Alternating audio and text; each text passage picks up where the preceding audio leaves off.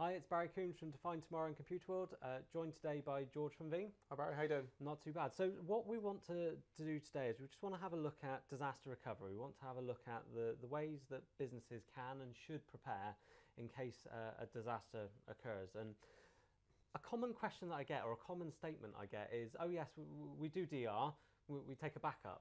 Um, in your mind, what is the difference between backup and a disaster recovery solution? How, how do the two compare and contrast, really? Yeah. Well, they're, yeah, they're you know they're closely segmented. You know, yeah. they're, they're, there's quite a cl- close perimeter, and for some people, backup is their DR. Yeah. You know, it's what are you're going to do if an outage happens. Mm-hmm. We're going to recover and backup. Okay, Indeed. that's your strategy. Yeah. But obviously, we can take that to a much more mature level, mm-hmm. and and Veeam's sort of like philosophy since day one has been giving our customers a lot of tools for one simple product. You know, Veeam backup and replication yeah. does exactly what it says on the tin. Mm-hmm. You know, it backs up the data and it replicates it. So it provides that um, consistent and easy replication facility to give customers that instant DR recovery if they want that. Okay, Definitely. you know it's a tool set within the software that's been there since day one, and it allows that sort of like uh, that cross hypervisor. Uh, replication between two different stacks. Yeah. They could be in the same cluster or the same data center, but typically you'd want to move one of those out into another geographical location so you're protected from maybe uh, one of your data centers going down and being able to spin up those workloads those applications, email, databases, all those front end applications that customers rely on, yep. businesses rely on, and actually spin them up in that yep. secondary data center. And, and, and, for me, it, it comes down to, to, two main things when we're talking about disaster recovery it's RPO and RTO. Mm-hmm. Recovery point objective and recovery time objective. Recovery point, how much data you're able to lose, mm-hmm. and recovery time, how much data, uh, so how long it's going to yeah. take you to recover that data. And as you say, for some people, the backup can be their disaster recovery plan. Mm-hmm. Please make sure you stick to a 3 2 1 backup strategy. That's three copies of your data, two different mediums, at least one copy off site. Yep. Last thing you want to do is store your backup tapes next oh. to your backup server and lose your data center. Yeah, um, so that might be good for some small businesses. Mm. They don't need to do anything more than that. They're taking the tape off. It might take them a day, two days to recover but that's perfectly acceptable. Yeah.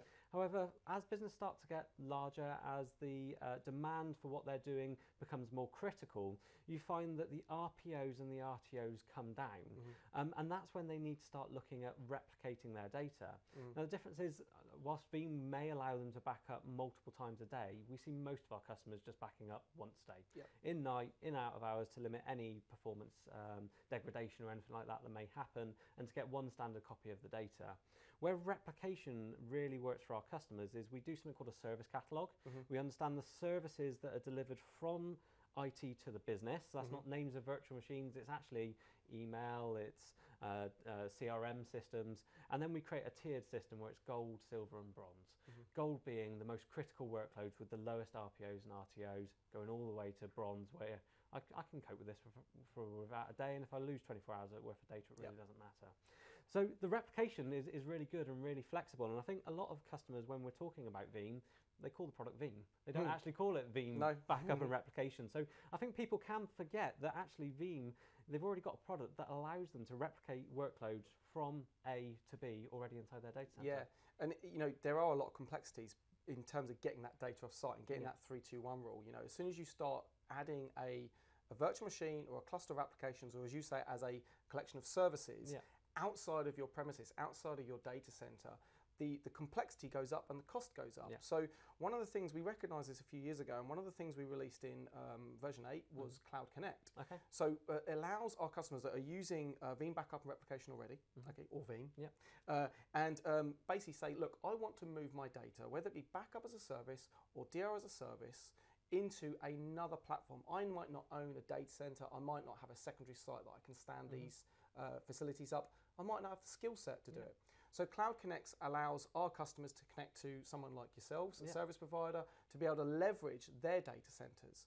Now, not only does it allow them to move those workloads offsite and put it into another data center and spin them up, it makes it very easy to do it. Okay. It has some sort of IP masquerading in there so that obviously they can test their DR and their failover plans. Um, we don't use VPNs or any complex yeah. networking, so we take care of that with some um, you know, clever secure tunneling. Um, so really, it's an enabler and it's built into the software organically. All the customer needs to do is go into the software, say, I want another location for my backups mm-hmm. after I've done my first job, and they choose your data center, and off it goes into that, that target. Okay.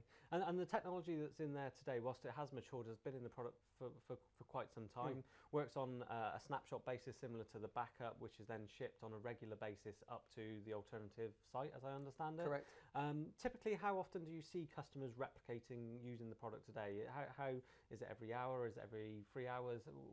How's that kind of working out? Yeah, I normally see them as they get more comfortable with the product. Yeah. I mean, the first thing is customers look at, you know, what's your what's your runtime? Sure. You know, we start our business at 8:30 in the morning, nine o'clock in the morning. We finish up at six. So they go with this nice, you know, window over the evening when the moon comes out that I can do my backups, I can do my replicas when I know things are running low. Sure. Why wouldn't you? Yeah. you know, if the business isn't running, why don't you do all your maintenance then? Mm-hmm. So they typically do that. And as they start to build up confidence with the product, you know, because our whole philosophy is about being as silent as we can in the background, mm-hmm. trying to capture backup workloads, uh, um, you know, replication without impacting the applications. Because if we run a, a, a, a, brilliant mm-hmm. backup, mm-hmm. but it affects the applications, then we've, you know, there's no point. Yeah. So we're always running quite, uh, you know, harmoniously with the environment. Sure. Okay.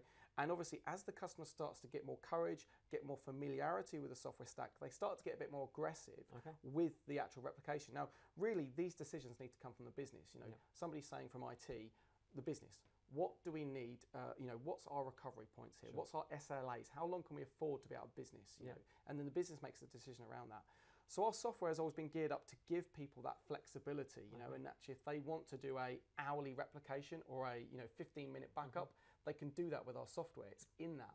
Obviously, then you need to size the storage, the network, the bandwidth, because yeah. the more you use, the more facilities and more resources you're going to consume as yeah. you do that. But um, we've had some new releases coming out in the next few versions. Okay. Um, we've got version 10 coming out at the end of the year. Yep. So uh, one of the sort of like almost the um, stopgap for us at the moment is 15 minute okay. RPO. So that you talked about RPOs just a moment ago. At the moment, our software allows us to protect workloads up to about 15 minutes sure. and longer. Yep. Okay. Beyond that, um, you know, we can't really get down to that small second interval or that near synchronous protection. Sure. So in version 10, which is coming out towards the end of the year, yeah. uh, we have continuous data protection as one of the feature okay. sets. And how that's going to work, it's going to support VMware, and yeah. we're going to use uh, native VMware toolset API, so VAIO, okay. to actually query the actual guests that live within inside that. We can then take that data and move that to another hypervisor in okay. a very almost near synchronous replication. So for customers that have a standard platter of applications or mm-hmm. services, you referred to them, yep. that they, they, they know this is the good bread and butter applications, but they also have these gold tier one applications. Yep we know we can protect them at a very much more aggressive ratio okay. and actually use CDP to, to, to benefit those customers to protect, you know, the gold applications, but also have the standard conventional backup technology Fantastic. in the background. So, so rather than committing to something like a 15 minute RPO, effectively it's continuously running and it will then just be down to links, bandwidths, and, and the rest of the system as to what you can get that down to. And presumably that will then yeah. fluctuate depending on, on, on, the conditions that you're placing that under. Precisely, yeah. I mean, I've got uh, a, a, brief screenshot for you here at Barry to show you the dashboard in our software that you'll see. Yeah. In version 10, it's in alpha right now, so I haven't had my hands in it. Okay. I'll have beta come out, community will test it, and then we'll go GA. But at the moment, this is one of the glimpses we've had of it. And you can see in the dashboard, you can actually see that this is our you know, interface. It looks very similar to the previous versions yep. we've had in the past. And you can see there in the top, we have a replication job, it's a VMware job, and the status, this is new, it says TBD syncing. So okay. it's actively syncing that actual workload in sure. the background. And you can configure on this next screen here, you configure a certain set of values. The main one I want you to focus on is at the top there. We can actually see typically where we'd have a, a schedule in the past and we'd have like a backup schedule. Is that daily? Is it hourly? Well, now we've got this thing in here. It's the recovery point objective, RPO, mm-hmm. and it's actually set to 15 seconds. So okay. you can see it's a very small fraction of time sure. within where we're actually protecting that workload. Mm-hmm. So you've now got the ability to actually go down to that second base interval okay. and say how frequently do you want to synchronize this particular workload, Brilliant. how important it is to you as a business, and then we spin that up onto another VMware hypervisor. Fantastic. Um, and, and in that kind of model, how do you handle things like quiescing of workloads that are going to be moving over? Because obviously, where you're snapshotting every hour or something like that, you're going to run a VSS driver or something like that, yeah. and what, write the memory down to it. I assume with something like this, you will do a fully quiesced replica every so often and then a non-quiesce workload in between. Yeah, correct. Obviously, like I said, it's still in alpha, so I've yeah. actually not got my, hands in it. From what we know at the moment, there will be some sort of VSS operation that happens at an interval yeah. to capture that application awareness, you know, the SQL database logins, all that stuff sure. that we need to know to be able to provide that, you know, you know, application consistent recovery, you know, yep. so we can inject data back into the databases if need and protect that on a sort of consistent level. So not too sure on the nuts and bolts yep. of it just right yet, but yeah, ultimately there'll be some sort of VSS process in the background to allow us to get that that, that consistency. Fantastic, and, and, that's great, and that's really building uh, on Veeam backup and replication as a product um, that can help customers. And I think the the two things I want customers to think about is what's your three two one backup strategy, mm-hmm. the the free copies of your data, two different mediums, at least one copy off site. Ideally, I want to get it more than that. I think those are the bare minimums that yeah. we should be asking for. And then secondly, what are your RPOs and RTOs and what are your kind of tiered uh, applications or services inside of that? And, and, once you've got all that, once you've gone through those kind of uh, elements, you can then look at the products that you've already got. You've probably already invested inside of Veeam. You can look at what's coming out in version 10 and really design a data protection strategy that's going to work for your business. Yeah. And talking about the three two one, uh, you know, model, yeah. that's a great stimulator with customers. You know, what is your three two one strategy? And some yeah. customers are like, it's this. Yeah. And some customers are like, well, I, I don't know. I don't know what the three two one model is. So it's good to get them thinking about, you know, where do you want your data? Mm-hmm. Why is it important to have it in multiple locations on different media, one off site, so on and so forth? And then enhancing that, you know, yeah, having another tape offload would be a sensible one. So we can yeah. seed that away from, you know, maybe something that's connected to your network, maybe a ransomware thing that would proliferate through your environment bring down all your backups, not a good thing, as yeah, we've yeah. seen.